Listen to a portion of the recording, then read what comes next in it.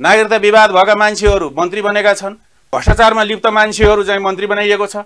Main पावरको एजेन्टलाई श्रम मन्त्री बनाइएको छ। यो सरकारको मेजर एक्टर भनेको नेकपा एमाले र नेकपा माओवादी नै हो। अरू दलहरू चाहिँ आइडियोलोजी बिनाका दलहरू हुन्। त्यो जस्ट अहिले सहभागिता मात्रै हो। यस कार्यक्रमका साथमा frontline hospital Nepal corner Singapore.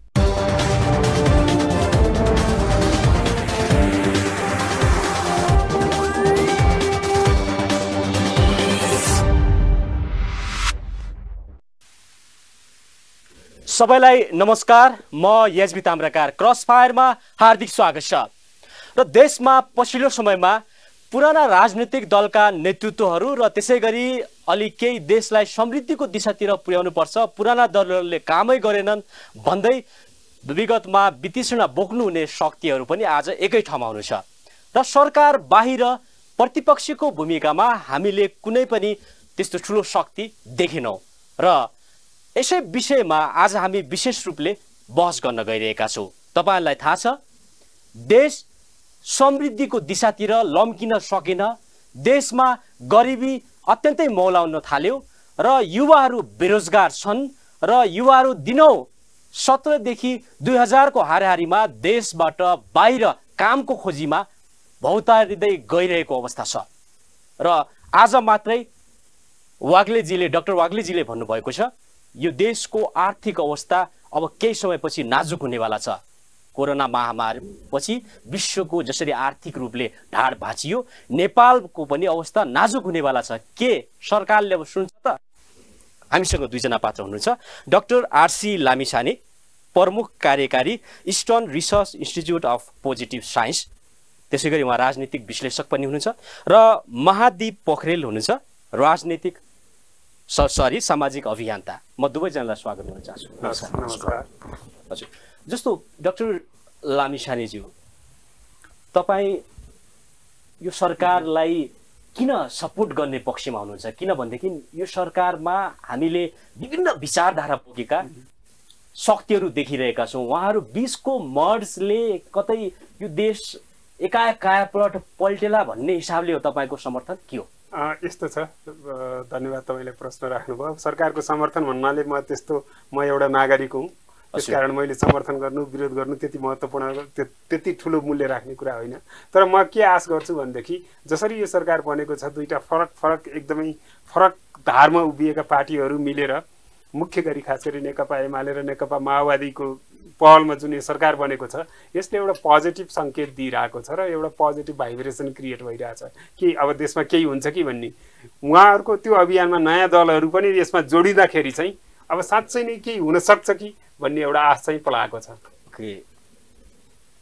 महादेवजी यो सरकारले पोजिटिभ भाइब्रेसन क्रिएट गरिरहेको छ र यो मर्ज देशको हितका लागि छ।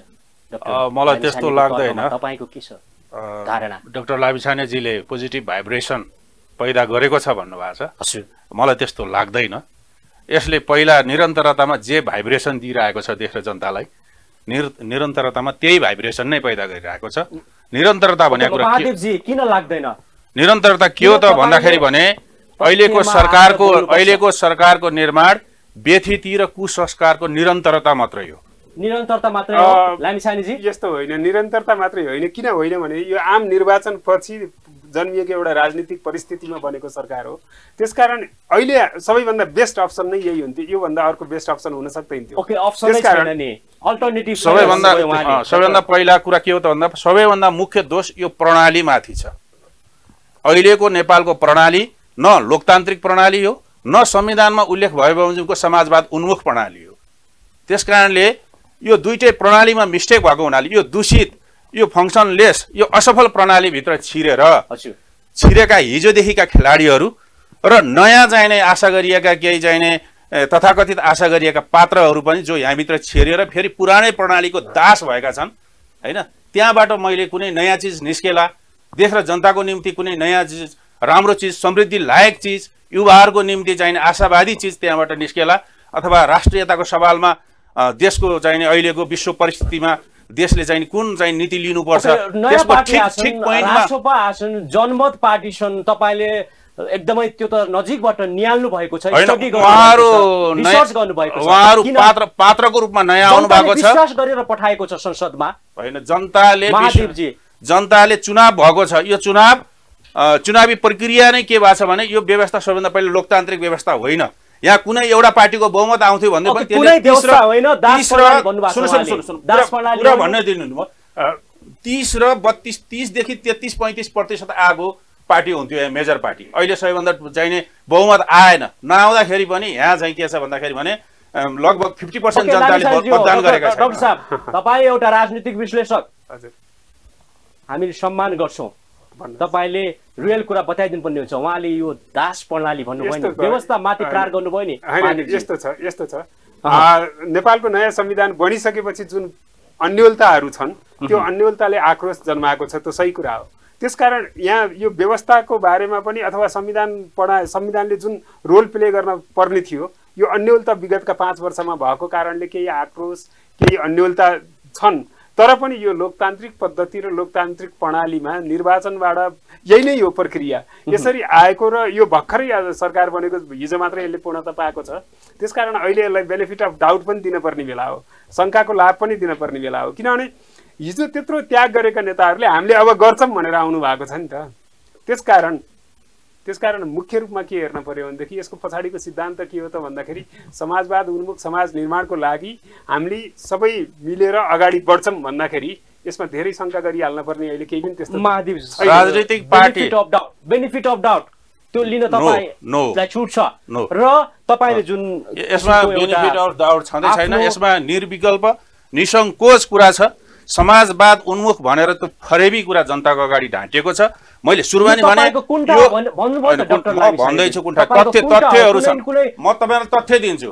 तथ्य के दिन्छु भन्दाखेरि भने बहुमत भोटर्सको सरकार यहाँ बन्दैन। तिसदेखि पैँतिस प्रतिशत भोटर्सको सरकार बन्छ। एक नम्बर। हो? त्यसपछि चाहिँ के छ भने बहुमत र पार्टीहरूमा चाहिँ चुनावी बेलादेखि र अहिलेसम्ममा पार्टीमा पैसा लगानी गर्ने कमिसन खोरहरू दलालहरू एजेन्टहरूको पैसामा चाहिने लगानी गरिन्छ। मन्त्री परिषदको निर्माण हुँदाखेरि उहुँ। तपाईँले देखिहाल्नुभयो भ्रष्टाचारमा लिप्त मान्छेहरू चाहिँ मन्त्री बनाइएको छ। नागरिकता विवाद भएका मान्छेहरू मन्त्री बनेका छन्। मेन पावरको एजेन्टलाई श्रम मन्त्री बनाइएको छ। र श्रम मन्त्री हुने बित्तिकै श्रम मन्त्री हुने बित्तिकै के भन्छन् भने अब अब। युवा युवाहरूलाई युवाहरूलाई विदेश पठाइने छैन भन्छन्। अहँ। तर सरकारको ध्यान के छ? पासपोर्ट सकेसम्म सबैले पासपोर्ट बनाऊ सबै श्रम स्वीकृति लियो सबै विदेश जाऊ। सरकारको ध्यान त्यतातिर गएको छ। र म यो सरकारलाई चुनौती दिन्छु। अहिलेको व्यवस्थालाई म चुनौती दिन्छु। नेपालमा प्रतिदिन दुई हजारदेखि पच्चिस सय युवा बाहिर जान्छन्। प्रतिदिन तिन चारवटा लास नेपाल आउँछ। पन्ध्र सोह्रसम्म लास पुगेको छ नेपाल आउने। र यो कति वर्षमा तिमीहरू घटाउँछौ? कति वर्षमा नेपालीहरू श्रमको निम्ति परिवार पाल्नको निम्ति रोजगारीको निम्ति विदेशका तातो खाडीमा जाने अवस्था तिमीहरूले घटाउँछौ। यसको ग्यारेन्टी गर। यही प्रश्नको महादेवजी- उत्तरभित्र मा- सबै वाद सबै विचार सबै सिद्धान्तको उत्तर मिलेको छ। तपाईँले डिपी आर्याल जो अहिलेका श्रम मन्त्री हुनुहुन्छ राष्ट्रसभाका उपसभापति उहाँमाथि प्रश्न खडा गर्नुभयो। त्यसै गरी तपाईँले विक्रम पाण्डे गरे। जो रापरपाका चाहिँ नेता हुनुहुन्छ त्यसै गरी सहरी विकास मन्त्री हुनुहुन्छ उहाँमाथि प्रश्न गर्नुभयो। गरे। गृह मन्त्री रवि लामिछानेमाथि प्रश्न गर्नुभयो। गरे। त्योभन्दा अगाडिका काण्डहरूको चाहिँ हामीले लिस्ट हेर्ने भने ठुलै लिस्ट छ होइन? तर उहाँहरू पनि त सरकारमा हुनुहुन्छ नि। तपाईँ नियतबस तरिकाले नयाँ शक्तिप्रति भने भने- सत्य हुन जान्छ। उहाँहरू लगायत अहिलेका प्रधानमन्त्री प्रधानमन्त्रीलाई सपोर्ट। गर्ने मेजर पार्टीका लिडरहरूका सबैका कहानी जोडिया छन् र सँगसँगै। होइन एकछिन सुन्नुहोस् मलाई पुरा गर्न दिनुहोस् र त्यही कहानीसित श्री चाहिँ श्रृङ्खलाबद्ध ढङ्गले अहिले नयाँ आएकाहरू पनि जोडिन त- यो त कुरा के हो त भन्दाखेरि भने। यो केवल। यो यो केवल। यो केवल भ्रष्टाचार। यो केवल भ्रष्टाचार कुसंस्कार र बेठितीको श्रृङ्खला मात्रै हो ओके व्यतिथिको श्रृङ्खला तपाईँले आरोप। लाग्यो नि महादेवजीले भन्नुभयो डाक्टर लामिछाने जस्ता विद्वानहरूले अहिले भ्रष्टाचारको चुङ्गुलमा डुबेका ती नेतृत्व र पात्रहरूलाई समर्थन गरिरहेका छन् भन्ने कुरा आयो नि। होइन होइन। त्यसरी मैले समर्थन त्यसरी मैले भनिरहेको छैन मैले के भन्दैछु भने कुराहरू उठ्छन्।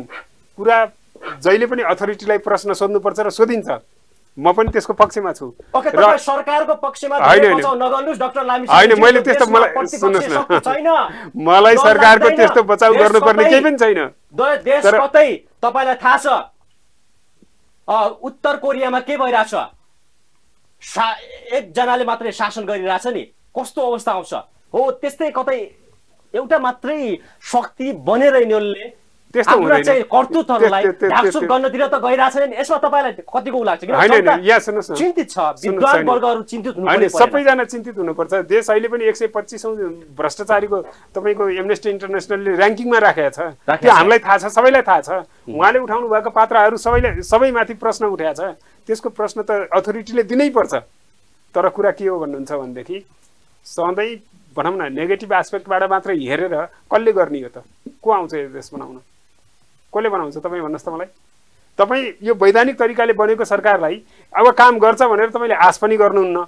तपाईँ के भन्दै हुनुहुन्छ नि? यसले गर्नै सक्दैन। कसले आउँछ त? भ्याकुममा बन्छ देश बन्दैन। आज जसरी आज सुन्नु न। महादेवजीलाई पनि मेरो। प्रश्न हो। तपाईँलाई प्रश्न हो। आम। जनमानसलाई मेरो प्रश्न हो। हामीले वाचडकको रूपमा हामीले काम गऱ्यौँ त। हामीले एक भोट सही मान्छेलाई हालेर पठायौँ कि पठाएनौँ? त्यो अथोरिटी त थियो त हामीसँग। आज एउटा वैधानिक रूपले तपाईँको सरकार बनेको छ। सरकार बन्दैछ म काम गर्छु भनेर मन्त्री परिषदका मान्छेहरूले भन्दैछन्। हालाकि प्रश्न उठाउने ठाउँ छ। नेपालको संविधान अनुसार मन्त्री परिषदमा समावेशी छ कि छैन? सबै क्षेत्रको प्रतिनिधित्व भएको छ कि छैन? प्रश्न उठाउनुपर्छ। निरन्तर प्रश्न उठाउनुपर्छ। सरेन्डर गर्न सकिँदैन।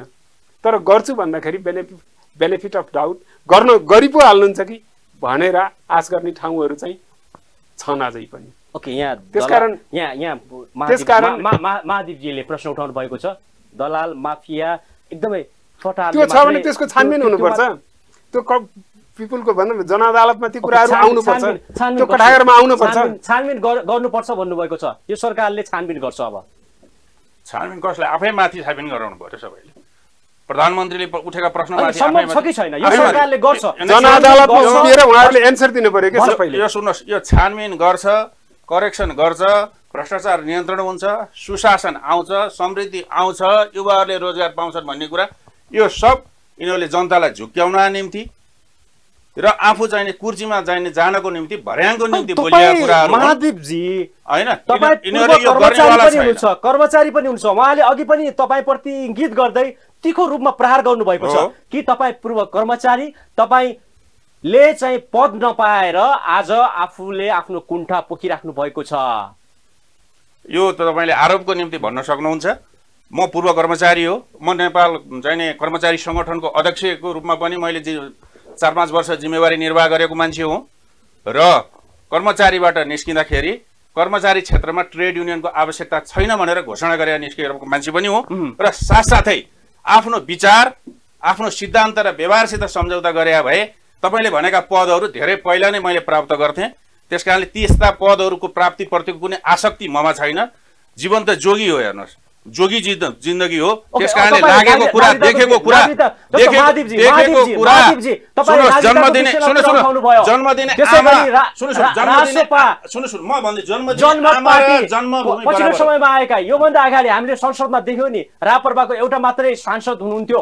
राजेन्द्र लिङ्गदेवज्यू अहिले त्यत्रो एउटा किसिमको जमात लिएर आउनु भएको छ। यो नयाँ के गरौँ भन्ने युवाहरूलाई जनताले विश्वास गर्नुभएको छ तर तपाईँ मान्न तयार हुनु न जनमतलाई जनताको अभिमत चेन्ज हुन्छन्। जनताले एकचोटि विश्वास गर्नुभयो। म भन्दैछु जनताले अहिले भोट हाल्नुभयो। उहाँहरूको चरित्र स्पष्ट रूपले अगाडि उदाङ्गो आइसकेपछि सबै जनताले बुझ्ने भइसकेपछि फेरि जनताले चाहिँ आफ्ना विचारहरू परिवर्तन गर्छन् जनताले विचारहरू रूपान्तरण गर्छन्। जनता परिष्कृत हुन्छन् र वास्तविक देशघाती र वास्तविक भ्रष्टाचारीहरू र चाहिँ कुशासनका यी बाघहरूलाई जनताले एक दिन कारवाही गर्छन्।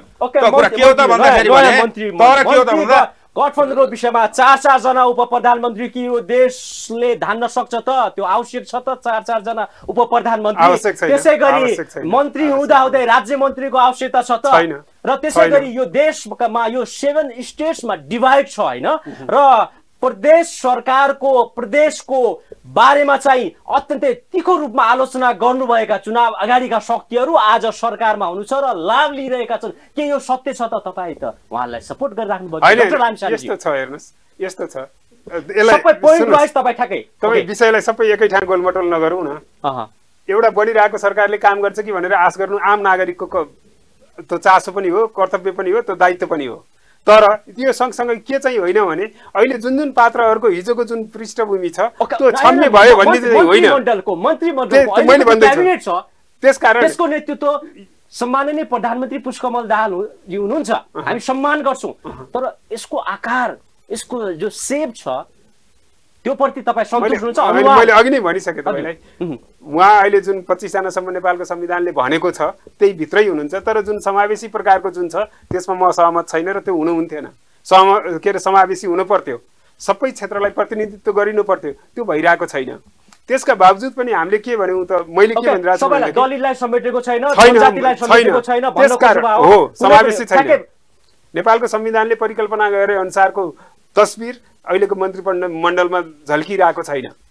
क्षेत्रीय सन्तुलन छैन जातीय सन्तुलन छैन लैङ्गिक सन्तुलन संविधानले परिकल्पना गरे भन्दा कम छ त्यो गलत छ। त्यसका बावजुद पनि त्यहाँ जो गैर जिम्मेवारीमा जानु भएको छ। देखिरहेका छौँ। अमरलाल मोदीजी हुनुहुन्छ त्यसै गरी तपाईँले त्यो उसमा हेर्नु पर्यो हुनुहुन्छ।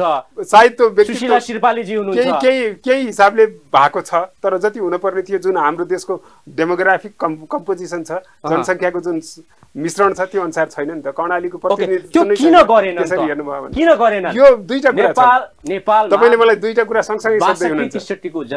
त्यसपछिका आन्दोलनहरूले चाहिँ सबै जात र जाति मैले त्यही भन्दैछु एउटा। समावेशी तरिकाको। मन्त्रीमण्डल गठन गर्छौँ भनेर कमिट कमिटमेन्ट गरिसकेको अवस्थामा अहिले किन भएन संविधानमै कसको छ। कारणले भएन किन भएन किन भएन भने चाहिँ दुईटा कुरा हुन्छ पोलिटिकल साइन्समा ओके। के हुन्छ भने जब सिद्धान्त क्लियर हुँदैन व्यवहार क्लियर हुँदैन अहिलेको सरकार सिद्धान्त क्लियर भएर बनेको होइन यो स्वार्थको गठबन्धन हो।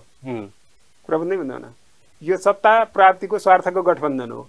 त्यति हुँदाहुँदै पनि मैले के भने यो सरकारले केही गरिहाल्छ कि शङ्काको लाभ दिनुपर्छ भनेर भनिरहेको छु। किनभने प्रत्येक सरकारलाई अविश्वास गरेर नागरिकहरूको दैनिक जीवनयापन हुन सक्दैन। सरकारले गर्नुपर्ने फङ्सनहरू भइ नै रहन्छन् ती प्रशासनिक कुराहरू हुन सक्छन्। तर जहाँ जहाँ डिपाचर हुनु पर्थ्यो जहाँ एकदम धेरै निर्णयहरू लि जहाँ एकदमै कठोरबाट निर्णय लिन पर्थ्यो नेपालको संविधानले भनेको छ नि त तेत्तिस प्रतिशत महिलाहरू मन्त्रीमण्डलमा हुनै पर्थ्यो त्यो न्यूनतम शर्त थियो त्यो पुरा गरिरहेको छैन यो सरकारले। समावेशी भनौँ न क्षेत्रीय सन्तुलन हुनु पर्थ्यो त्यो भइरहेको छैन। त्यो चाहिँ नेपालको संविधानलाई जुन आत्मसात गरिन पर्थ्यो अहिले पनि त्यो मूल नेतृत्वबाट भइरहेको छैन। तर सपोर्ट त गरिराख्नु होइन होइन। सपोर्ट भन्नाले यस्तो भने हो। सपोर्ट भन्नाले म त सरकारको कुनै अङ्ग पनि होइन केही पनि होइन। एउटा नागरिकले सरकारसँग आश गर्दाखेरि नयाँ सरकार बनेको छ केही हुन्छ कि भनेर आश गर्ने कुरा त जायजै कुरा हो नि त। ओके सम्भावना भएका पात्रहरू को को हुनुहुन्छ अहिले सम्भावना भन्नाले? गर्नु यस्तो है छ भन्ने हेर्नुहोस्। आशावादी तपाईँ। यस्तो छ हेर्नुहोस्। म चाहिँ पोलिटिकल साइन्सको स्टुडेन्ट भएर म चाहिँ बिना सिद्धान्तको पोलिटिक्समाथि मलाई विश्वास लाग्दैन। ओके। त्यसकारण मेन यो यो सरकारको मेजर एक्टर भनेको नेकपा एमाले र नेकपा माओवादी नै हो। अरू दलहरू चाहिँ आइडियोलोजी बिनाका दलहरू हुन्। त्यो जस्ट अहिले सहभागिता मात्रै हो। उहाँहरूले यो सरकारलाई केही पनि इन्फ्लुएन्स गर्न सक्नुहुन्न। एकछिन रमाइलो गर्नुहुन्छ होइन? चर्को चर्को भाषण गर्नुहुन्छ यो गर्छु ऊ गर्छु भन्नुहुन्छ। अर्को खासै उहाँहरूको केही आइडियोलोजिकल क्ल्यारिटी नै छैन। तपाईँले रासपाको नाम लिनुभयो राप्रपाको नाम लिनुभयो। राप्रपा त एकदमै प्रतिगामी फोर्स हो यो त यहाँ भनौँ न प्राविधिक रूपमा संविधानमा एउटा प्राविधिक रूपमा यति नम्बर पुर्याउनु पर्छ भन्दाखेरि त्यो सत्ताको गठबन्धनमा आएको एउटा शक्ति मात्रै हो। त्यसकारण केही गर्ने कि नगर्ने भन्ने कुरा चाहिँ एमाले र माओवादीमै भर पर्छ र गर्ने पनि यही दुईटा हो। माओवादी केन्द्रलाई तपाईँले सपोर्ट गरिराख्नु भएको छ। एमाले र माओवादी भन्दैछु मैले एमाले र माओवादी। महादेवजी यो प्रणाली के छ? अघि हामीले कुरामा हामीले अघि मैले प्रश्न पनि मैले। सुरुमै भने टेकेर त्यसैमा टेकेर भन्दैछु। सुरुमै भने यो लोकतान्त्रिक प्रणाली होइन। यहाँ तेस्रो हुने पार्टी सबैभन्दा बढी पावरफुल हुन्छ। तेस्रो हुने पार्टी नेकपा माओवादी केन्द्र हो। र ऊ चाहिने चुनाव गर्दा काङ्ग्रेससित गठबन्धन गर्छ सरकार बनाउँदा फेरि एमालेसित गठबन्धन गर्छ समर्थनको चाहिने विश्वासको लिँदाखेरि चाहिँ सबैको विश्वास लिएर जाने एउटा नाटक निर्माण गर्छ। द मोस्ट पावरफुल गभर्मेन्ट यो हो भन्ने नाटक जनतालाई दिन्छ। त्यसकारण यो फरेबी व्यवस्था हो।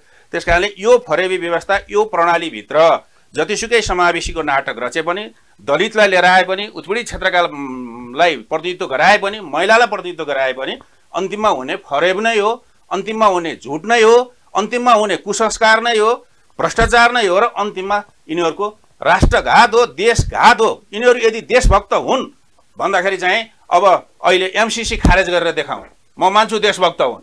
एसपिपी यिनीहरूले स्वीकृत गर्न नसिसकेपछि हामीलाई भर्खरै प्राप्त सूचना अनुसार कम प्रधानमन्त्री प्रचण्डको टेबलमा अमेरिकाले अर्को सेक्युरिटी सम्झौता पठाएको छ। अब एमसिसी त यिनीहरूले लागू गरेर अगाडि लैजान्छन्। अब अगाडि गरेर लागू गर्नको निम्ति अमेरिकी सेना नेपालमा प्रत्यक्ष रूपले चाहिँ नि यहाँ ड्रेसै लगाएर आउन सक्ने वातावरण अझै बनिसकेका छैन। कार्य कार्यकर चाहिँ आए पनि तालिम अथवा अरू विभिन्न वेलफेयरको हिसाबले आएका छन्।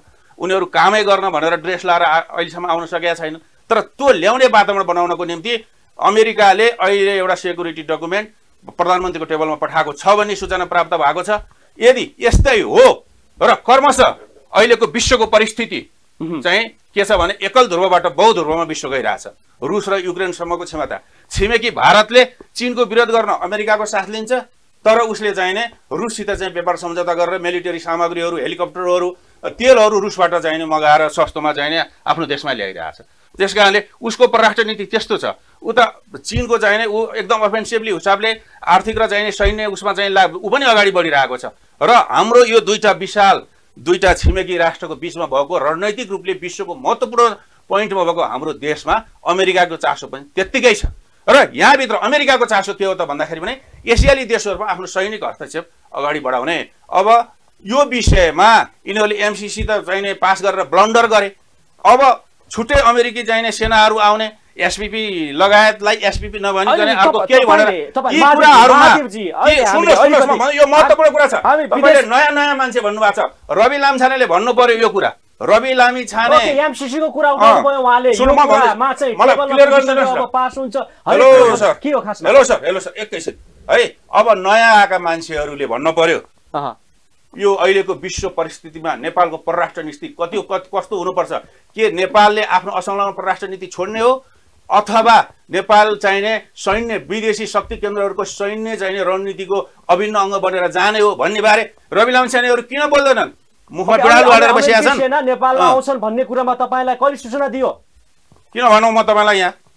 सूचना पक्कै सूचना प्रधानमन्त्रीको टेबलमा प्रधानमन्त्रीको टेबलमा तपाईँ। तपाईँहरू तपाईँहरू पत्रकार हो खोजी गर्नुहोस् मैले यति भन्ने प्रधानमन्त्रीको टेबलमा त्यो फाइल। पुगेको छ लामछानजी यस्तो यो यी कुराहरू हेर्नुहोस् अथोरिटीमा जहिले पनि प्रश्न उठ्छ र भनौँ न नागरिकले नेपाल आइपुग्दैछ भन्ने कुरो उहाँ सूचना। मलाई त्यस्तो लाग्दैन अमेरिकी सेना नेपाल आउन पर्ने यो ट्वेन्टी फर्स्ट सेन्चुरीमा सेना एकदम जहाज लिएर उ गरेर केही पनि आउँदैन व्यवस्थालाई पनि चुनौती दिनुभएको छ त्यहाँ पनि अलिकति तपाईँले तर तर एउटा कुरा के हुन। सक्छ भने शक्ति राष्ट्रहरूको इन्ट्रेस्ट नेपाल जस्तो देशमा लाद्न सक प्रयास गरिन्छ। लाद्ने वातावरण पनि बन्दै जान सक्छ किनभने जति जति यस्तो पोलिटिकल भनौँ न अन्यलता हुन्छ राजनीतिक अन्यलतामा शक्ति राष्ट्रहरूले खेल्छन् नै त्यस आधारमा प्रश्नहरू उठाउन पाइन्छ ती शङ्का गर्न पाइन्छ विगतको जुन व्यवहार छ विगतका हाम्रा नेपाली सरकारहरूले गरेका जुन व्यवहार छन् यिनीहरू चाहिँ अलिक बढी भक्ति भाव भएको चाहिँ त्यो अनुभूति भएको डाक्टर साहब उहाँले व्यवस्थाको कुरा एकदमै यो दलाल व्यवस्था भन्नुभयो एकदम यस्तो छ हेर्नुहोस् योभन्दा अगाडि सुन्नुहोस् न योभन्दा अगाडि बनेका कुनै पनि सरकारले। भनेअनुसार काम नगर्दाखेरि नागरिकको मनमा धेरै प्रश्नहरू उठेका छन्। त्यो मेरो मनमा पनि छ तपाईँको मनमा पनि होला। तपाईँले सुरुमै भन्नुभयो दुई हजार युवाहरू बाहिर गइरहेछन्। यसको मतलब के हो भने योभन्दा अगाडिका सरकारले देशको माटो र जनतालाई केन्द्रमा राखेर काम गरिरहेका छैनन्। त्यसो भएपछि त प्रश्न त उठ्छ त्यो प्रश्न उठ्छ त्यो प्रश्न उठाउन पर्छ। होइन, आम रूपमा चाहिँ तिस वर्ष भयो यो व्यवस्था आएको यो व्यवस्थाले गर्दा हामीमा यो सकारात्मक परिवर्तन आयो भन्ने जनमानस त एकदम कम छ नि। सीमित मुठीभर दलालहरू बाहेक सीमित मुठीभर बिचौलियाहरू बाहेक आम नागरिकले त त्यो अनुभूति गर्न पाइरहेको छैनन्। कोभिडको बेलामा मान्छे अक्सिजन नपाएर मर्नु पर्यो सिटामल पाएनन् मान्छेहरूले। अहिले पनि भनौँ न आधारभूत उपचारहरू पाइराखिएको छैन। सरकारी स्कुलको क्वालिटीहरू न्यून भएर गएको छ। यस्तो स्थितिमा प्रश्न उठ्नु स्वाभाविक हेर्नुहोस्। तपाईँ भनौँ न तपाईँले मलाई भन्नुभयो तपाईँले सरकारलाई समर्थन गर्नुभयो भन्नुभयो हो मैले सरकारबाट आश गरेको छु। स्वयं सरकार बनाउने मान्छेहरूले पनि यो कुरामा उनीहरूले क्वेसन उठाउँछन्। सरकारमै भएका मान्छेहरूले स्वयंले भनेका छन्। प्रधानमन्त्रीको तपाईँले भाषण सुन्नुहोस् न। प्रधानमन्त्रीको तपाईँको सुन्नु न। अन्य दलहरूप्रति मेरो विश्वास छैन। एमाले र माओवादीले राम्रो गर्नुहुन्छ पोलिटिकल साइन्सको नियम लागू हुन्छ हेर्नुहोस्। अन्य बाहेक अरू सबै होइन यसलाई मिसइन्टरप्रेट नगर्नु न। पोलिटिकल पार्टिजमा पोलिटिकल आइडियोलोजी के हो त उहाँहरूको? माओवादीले? राम्रो। गर्छन् उहाँहरूले एमाले र माओवादी भने कम्ती पनि ideology देशलाई भएका पार्टी लान दिँदैनन्। एमाले र माओवादी केन्द्र जनताको अगाडि धेरैचोटि टेस्टेड भएका र विभिन्न चाहिने भ्रष्टाचारका श्रृङ्खलामा चाहिने जोडिएका नेतृत्वहरू छन् है? त्यहाँका नेतृत्वहरू यति उम्नीदेखि लिएर गएर लडाकु शिविर कसले लिएर सबै कुरा छन्।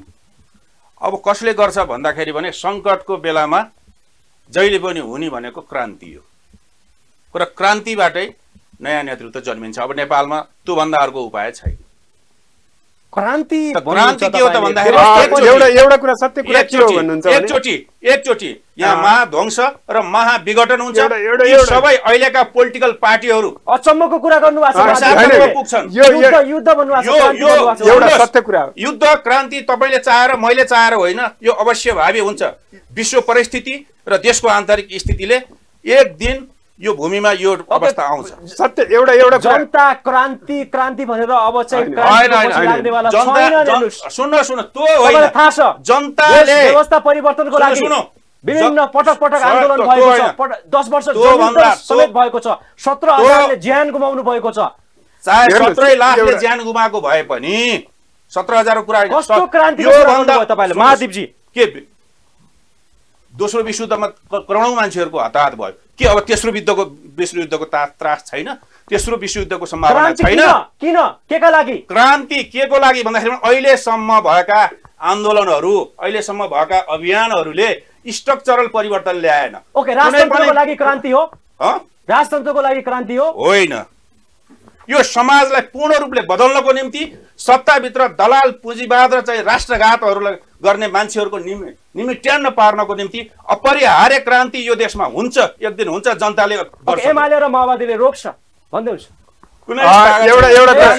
लामिछानेजी, अपरिहार्य क्रान्तिलाई रोक्न दुनियाँको कुनै एउटा-। समाज विज्ञानको एउटा नियमलाई बुझ्नु पर्यो कि हामीहरूले। त्यो भनेको के हो भनेदेखि यदि यो सरकारले अथवा कुनै पनि बन्ने सरकारले जनताका आधारभूत आवश्यकतालाई पूर्ति गर्न सक्दैनन् भने त्यसले विद्रोहको सिर्जना आधार तयार गर्छ। र आज हामी नेपालमा जुन अवस्थाबाट गुज्रिरहेका छौँ जनताले भोटमा भाग लिएका छन् सँगसँगै मनस्थिति विद्रोही बनिरहेको छ क्या जनताको। त्यसकारण यो सरकारले मैले के भनिरहेको छु यदि यो सरकार बन्दाखेरि किन अलिकति पोजिटिभ भाइब्रेसन आएको छ त भन्दा मान्छेले धेरै आश गरेका छन्। यदि- यो सरकारले गर्न चुक्यो भने जबरजस्त विद्रोहको आधारशिला तयार बन्छ त तपाईँले सरकारले कसैले चाहेर पनि रोकिँदैन। प्रत्येक युवाहरूले विद्रोह गर्न थाल्छन्। त्यसकारण यो अन्तिम अवसर हो भनेर भनेको छु मैले। त्यसकारण यो सरकारलाई यी राजनीतिक पार्टीहरूलाई महादेवजीले भने अनुसार यो एउटा यदि यदि काम। भएन यदि यदि डाक्टर- होइन, जनताले तपाईँले फेरि बुझ्नु भएन जनताले हिंसा पटक्कै चाहेको छैन। कसैले पनि चाहेको छैन। तर नियम के हो भनेदेखि पानी। कता जान्छ? पानी त ओह्रालै जान्छ नि। नियम के हो भनेदेखि बारम्बार जनताका कुराहरूलाई तिरस्कार गरियो। केही सीमित वर्गले मात्रै फाइदा लिने खालको हिसाबले राज्य संयन्त्रलाई प्रयोग गरियो भने त्यहाँ अनिवार्य विद्रोह जन्मिन्छ। ओके जस्तो त्यसकारण त्यसकारण त्यसकारण मलाई टुङ्ग्याउनु दिनुहोस् मलाई टुङ्ग्याउनु दिनुहोस्। त्यसकारण यदि यो सरकारले जनताका समस्याहरूलाई जनताका चासोहरूलाई सम्बोधन गरेन भने अनिवार्य रूपमा विद्रोहको आधार तयार हुन्छ।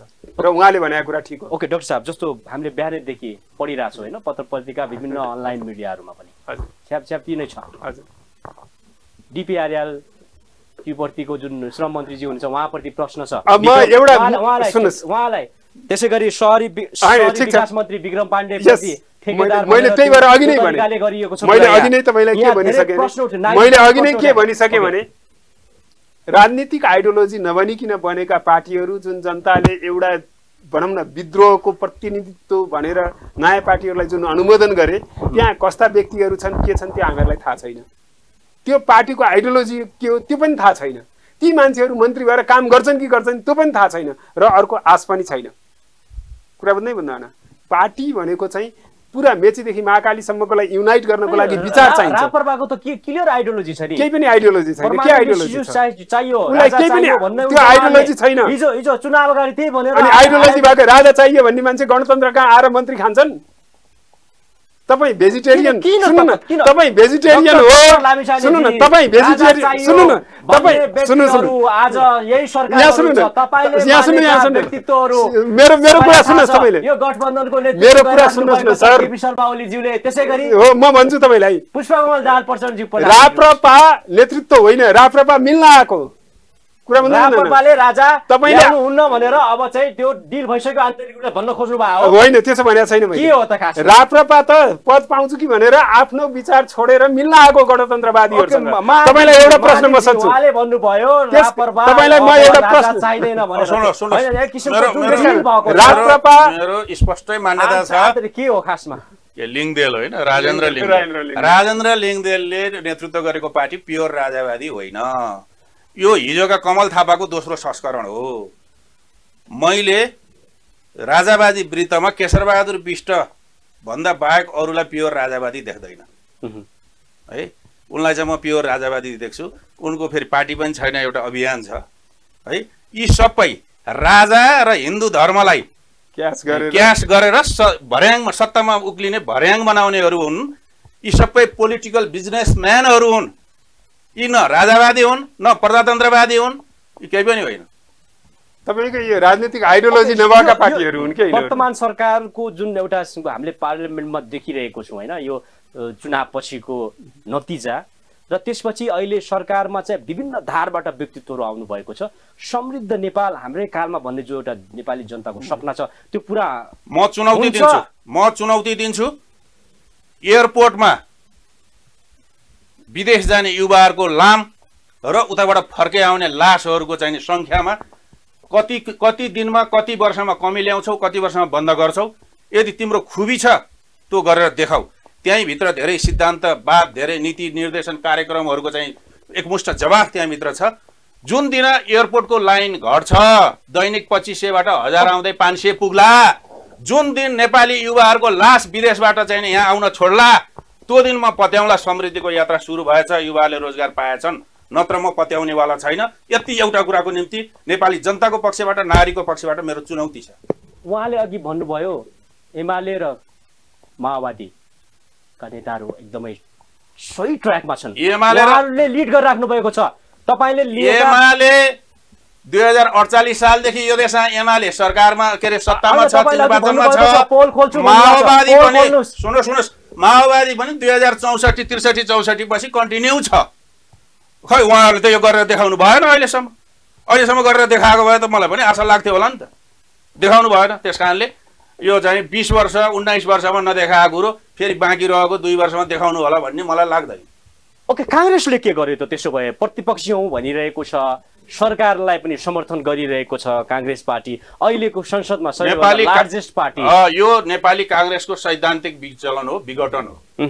नेपाली काङ्ग्रेस साङ्गठनिक रूपमा काङ्ग्रेस गाउँघरमा हामी काङ्ग्रेस हौँ भन्ने रूपमा काङ्ग्रेस जीवित त छ तर नेपाली काङ्ग्रेसको अहिलेको सरकारलाई प्रचण्ड नेतृत्वको सरकारलाई विश्वासको मत दिनु भनेको उसको राजनैतिक वैचारिक दिवालियापन टाट फर्काई एक अर्थमा विघटनै हो। ओके डाक्टर लामिछानेजी जस्तो माओवादी र एमाले।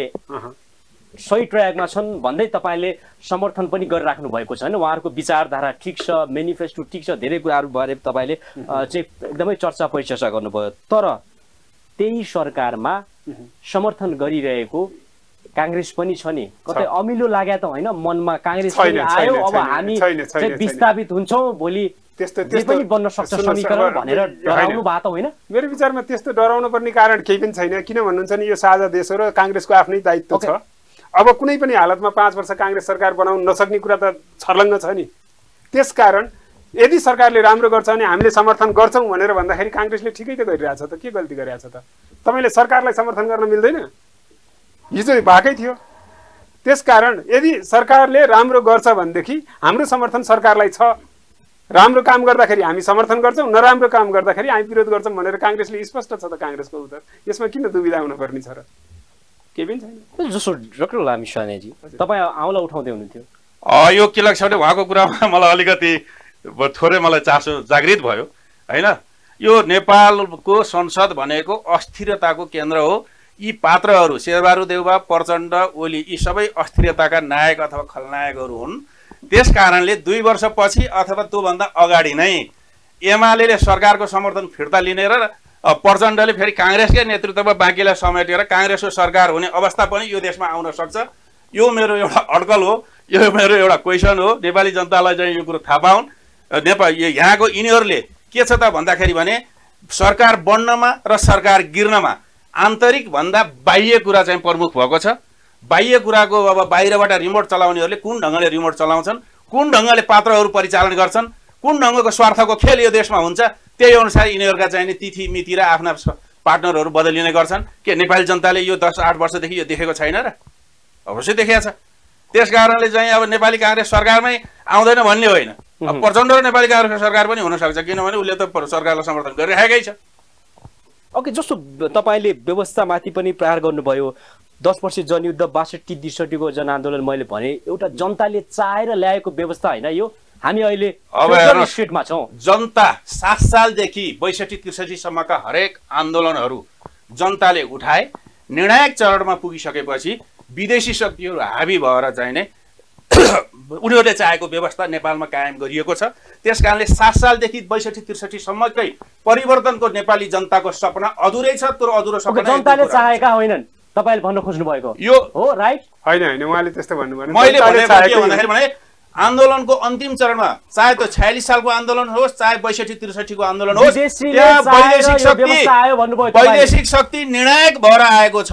वैदेशिक शक्ति त्यस कारणले सुन्नुहोस् त्यस कारणले परिवर्तन पछिको हरेक फाइदा पनि विदेशी शक्तिले लिएको छ।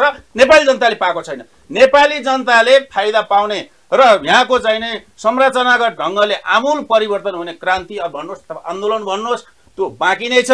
सात सालदेखि त्रिसठीसम्म व्यवस्थाका साइनबोर्डहरू परिवर्तन भए वास्तविक व्यवस्था परिवर्तन भएको छैन। डाक्टर लामिछानजी गणतन्त्र आउँदाखेरि पनि गणतन्त्र आउँदाखेरि पनि? छैन। यस्तो छ हेर्नुहोस्। यो सबै आन्दोलनहरू परिवर्तन हामी नै सहभागी भएर गरेको। छयालिस सालपछि हामी नै छौँ। हामी नै छौँ। हुनसक्छ। केही कुराहरूमा नेपाली जनतालाई त्यो भान परेको हुनसक्छ। किनभने हाम्रा इन्ट्रेस्टहरू भन्दा बढी विदेशीका इन्ट्रेस्टहरू सर्भ गर्ने लगायतलाई भान परेको हो त्यसो भए। भान परेको भान उहाँको- परेको हो भने। भान कसरी परेको? बाह्र बुधे समझदारी इन्डियामा भएको। त्यतिखेर इन्डियामा भएका सत्तासीन पार्टीहरू बाह्र बुधे समझदारी कहाँ भयो? त्यसले ठुलो। उनीहरू चाहिँ नि त्यसमा लागेका कहाँ भयो? होइन काठमाडौँको गल्ली नै सुन्नुहोस् सुन्नुहोस् सुन्नुहोस् लामखानेजी के छ भने इन्डियन इन्डियन होइन म निस्केका थिएँ। इन्डियन सत्ता पक्षका मान्छेहरू बाह्र बुधे समझदारी बनाउन। यहाँ भएका संसदवादी पार्टी र माओवादी मिलाउन मिलाउनलाई लागेका। थिए। त्यसको त्यसको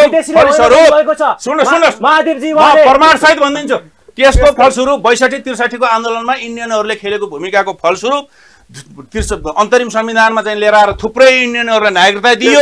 यो देशको अरुण यो देशको चाहिँ नि तपाईँ कर्णाली इन्डियन कम्पनीहरूलाई बुझाइयो। होइन?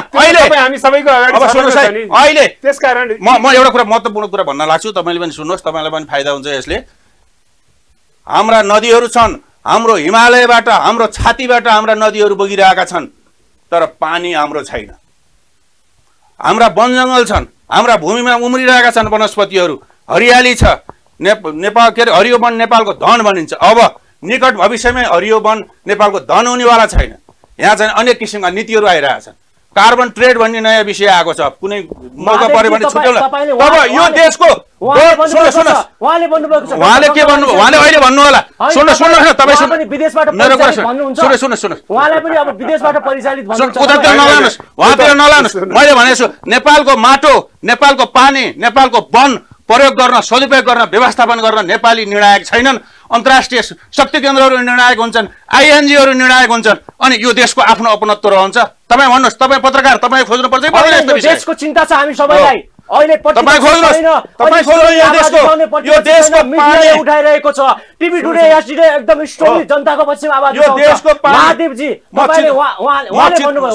म चितवनको मान्छे हो।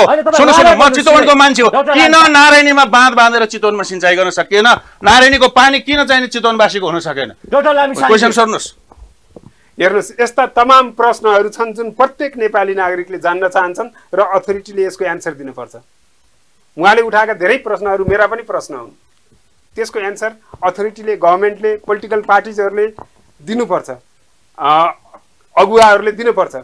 तर के कुरा होइन भनेदेखि हाम्रो सबै उसमा विदेशीहरूको चलखेल छ भन्ने कुरा होइन। हामी स्ट्रङ हुनु पर्यो नि त। ओके डाक्टर साहब तपाईँ विद्वान। सुन्नुहोस्, हाम्रो देशमा हाम्रो देशमा पनि आवश्यक छ। सही तरिकाले र एउटा किसिमको एउटा रोड म्याप हुन्छ। समृद्धिको रोड म्याप हुन्छ। हाम्रो देशमा विभिन्न ठाउँ हामी जान्छौँ प्लानिङ सिटी छैन। अव्यवस्थित छ सबै ठाउँ। विदेशमा जानुहुन्छ तपाईँ। तपाईँ बताउनुहोस् यही संविधानमाथि टेकेर यो व्यवस्थामाथि टेकेर समृद्ध नेपाल निर्माणको सपना तपाईँले कसरी देख्नु भएको छ र कसरी सम्भव छ? सम्भव कसरी छ भन्नुहुन्छ भने अहिलेको सरकार यदि एकाउन्टेबल भइदियो उसले उत्तरदायी भन्यो र जे कुरा जनतालाई भनिएको छ। त्यही अनुसार काम गरिदियो भने भेरी सिम्पल छ। तर काम गरेन भनेदेखि के गर्ने त त? ओके सिम्पल छ।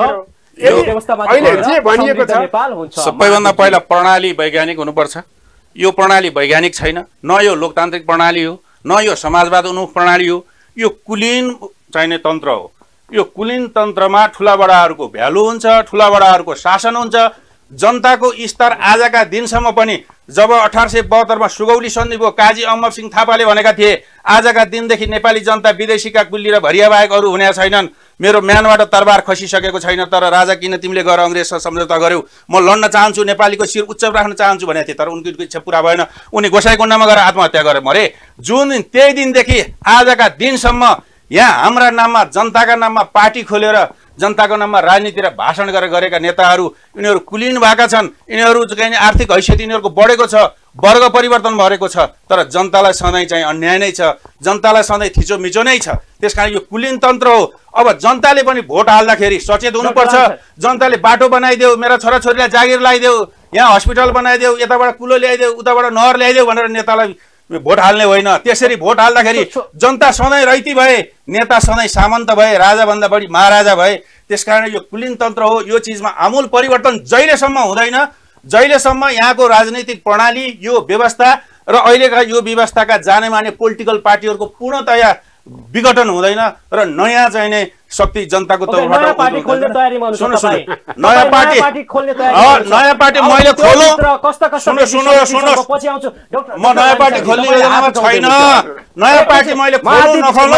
एउटा। अपरिहार्य आवश्यकताले नयाँ शक्तिको उदय हुन्छ। यो वैज्ञानिक छ। यो विज्ञानले पनि त्यही भन्छ। डाक्टर लामसाहेब ओके तपाईँ हात उठाउनु एउटा कुरा के हुनु पर्यो भने देश आफै विकास हुँदैन हेर्नुहोस्। देश विकास गर्ने भनेको नागरिकले हो। तपाईँलाई एउटा इक्जाम्पल दिन्छु। एकजना जर्मनी हो, मित्रले मलाई सुनाउनुहुन्थ्यो। के भन्नुहुन्थ्यो भने। जर्मनीमा श्रीमानले भ्रष्टाचार गर्यो भने श्रीमतीले बहिष्कार गर्छन् भन्थ्यो। अनि छोरछोरीले बाउलाई बाउ भन्दैनन्। र त्यो मान्छे केही समयपछि पन्ध्र बिस दिनपछि समाज छोडेर जानुपर्छ भनेर भन्नुहुन्थ्यो। त्यसकारण हामीले एउटा यस्तो व्यवस्था बनाउन पर्यो। पच्चिसजना सरकारले पच्चिसजना मन्त्रीहरूले मात्रै देश विकास गर्ने होइन। यो त तिन करोड नेपालीको दायित्व हो नि। यदि देशमा विदेशी चलखेल हुन्छ भने हामी कहाँ के हेरेर बसिरहेछौँ त? ओके हाम्रो दायित्व छ नि। प्रत्येक नेपालीले दायित्व बोक्नु पर्यो क्या यदि विदेशीलाई प्रश्रय दिने खालका नेताहरू छन् भने तिनलाई बहिष्कार गर्न किन हामी चुकिरहेको ओके हामी चीन र भारतको बिचमा छौँ। त्यसकारण कस्तो हुनुपर्छ। हाम्रो हामी चुकेका छौँ। तपाईँलाई थाहा छ न। हाम्रो देशको प्रधानमन्त्रीले छिमेकी राष्ट्रका प्रमुखहरूसँग टेबलमा बसेर टेबल टक गर्न सक्ने हैसियत हाम्रो छैन।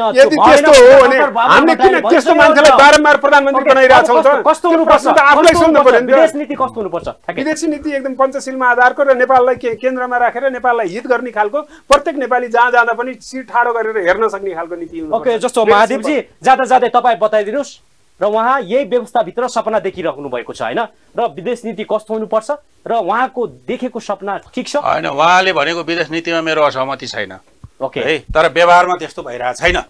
अहिले पनि के छ भन्दाखेरि भने विदेश नीति संविधान त असंलग्न राष्ट्र नीति नै हो। ओके। तर व्यवहारमा के छ भन्दा इन्डो पेसिफिक रणनीतिको चाहिँ अगाडि पिछलग्गु र लम्पसार भएर नेपालका पोलिटिकल पार्टी र यहाँका राजनीतिक नेतृत्वहरू लागिरहेछन्। जसले एमसिसीको चाहिने सदनबाट पारित को अवस्था पछि नेपाल व्यावहारिक रूपले असंलग्न परराष्ट्र नीतिमा छैन। यो अमेरिकन अम्रेलाभित्र पुगिसकेका छ। अब त्यसले यो देशमा हाम्रो भूस्थिति र विश्वको अहिले बहुधर्मीय विकासको स्थिति र सँगसँगै रुस र युक्रेनका विभिन्न प्रकरणहरू अहिले घटिरहेका छन्। चीन ताइवानका प्रकरणहरू छन्।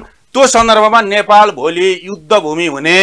वैदेश विदेशी शक्ति राष्ट्रहरूको युद्धभूमि हुने र तपाईँको कार्यक्रम क्रस क्रस फायर भन्नुहुन्छ नि। त्यस्तै क्रस फायरमा परेर नेपाली जनता सिद्धिने अवस्था भोलि आउन सक्छ। उहाँले यो अब युद्धको भूमि हुने र त्यसमा चाहिँ डाक्टर लामिछाने जस्ता विद्वानहरूले युद्धको त्यो दिशातिर अग्रसर भइरहेका नेतृत्वलाई पुरै काँध हालेर सपोर्ट गरिराख्नु यस्तो छैन यस्तो छैन। सुन्नुहोस् न त्यो उहाँले विचार राख्नुभयो। यो एक्काइसौँ शताब्दी हो। एक्काइसौँ शताब्दीको युद्ध भनेको धेरै फरक हुन्छ। र नेपाललाई नेपाल चाहिँ एकदमै युद्ध युद्धबाट टाढा रहेको देश हो। युद्ध साइन्सको कुनै पनि साइन छैन। पहिलो कुरा बुझ्नु पर्यो। विदेशी शक्तिहरूले केही इन्ट्रेस्ट हामीलाई थोपार्न खोज्लान्। हामीलाई प्रयोग गर्न खोज्लान्।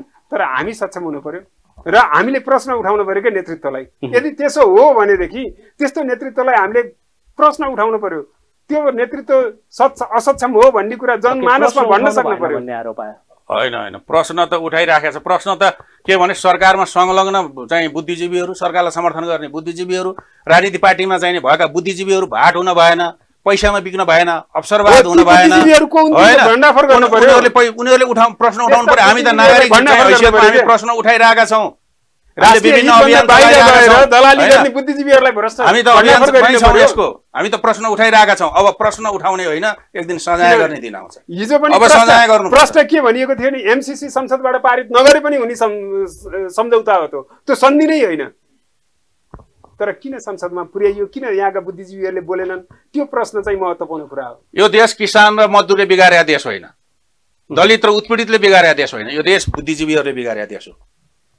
होइन? बुद्धिजीवीहरू भाट भइदिनाले बुद्धिजीवीहरू अवसरवादी भइदिनाले बुद्धिजीवीहरू डर छेरुवा भइदिनाले के छ भने यहाँ सहीलाई सही र सत्यलाई सत्य भन्नेहरू यहाँ भएन अब यो कुरा बुद्धिजीवी क्षेत्र भनेको पत्रकार जगत पनि हो। त्यस कारणले पत्रकार जगत पनि होसियार हुनुपर्छ। पत्रकार जगतमा पनि धेरै चाहिने मिडियामा विदेशी लगानीहरू छ विदेशीहरूको चाहिने इच्छा अनुसार पत्रकारलाई चाहिँ प्रोभोकेट गर्ने गर्ने राम्रा। पत्रकारहरू सबै- पत्रकार होइन। यो विषयमा होइन। यो आउँछ सेल आउँछ दुई चार दिन बोल्नुहुन्छ। यो हामी बोलिरहेका छौँ कतिपय राम्रा पत्रकारहरूले राम्रा मिडियाहरूले यो विषयवस्तु ल्याइराख्नु भएको पनि छ तर कतिपय मिडियाहरूले एमसिसीबाट पैसा लिएर एमसिसीको प्रचार गर्ने मिडिया पनि छन्। नाम लिन्न तपाईँलाई पनि थाहा छ मलाई पनि थाहा छ। यही हो। त्यस कारणले देशको बुद्धिजीवी वर्ग होइन देशका प्र- प्राध्यापकहरू पत्रकारहरू। तपाईँसँग शक्ति नै छैन। तपाईँलाई थाहा तपाईँ बोलिराख्नु भएको छ तर पार्टी खोल्नुहुन्छ कि भनेर मैले प्रश्न खोल्दिन पनि। अहिले प्रतिपक्षमा कोही पनि छैन। सुन्नुहोस् सुन्नुहोस् कस्तो पार्टी मैले शक्ति युद्धका कुरा पनि गर्नु पर्यो धेरैले हावा बोल्यो भन्ने मिडियामा। न- मैले पार्टी खोल्छु भने न मैले पार्टी खोल्दिनँ भने। मैले पार्टी खोल्छु पनि भनेको छैन पार्टी खोल्दिनँ पनि भनेको छैन। कुरा के हो भने समयको अपरिहार्य आवश्यकताले पार्टी पनि बन्छ आन्दोलन पनि बन्छ क्रान्ति पनि बन्छ। सबै बन्छ। प्रत्येक व्यक्तिले पार्टी खोल्ने खोल्न पनि पर्दैन खुल्दा पनि खोल्दैनन्।